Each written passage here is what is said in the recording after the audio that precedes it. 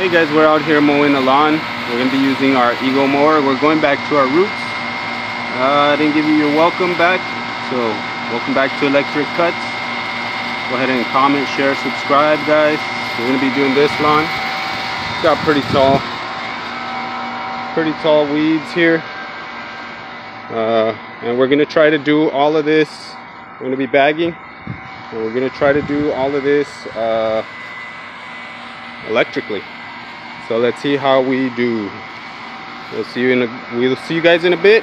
We're gonna go ahead and start mowing, dump in our grass there, and then we'll put it into bags.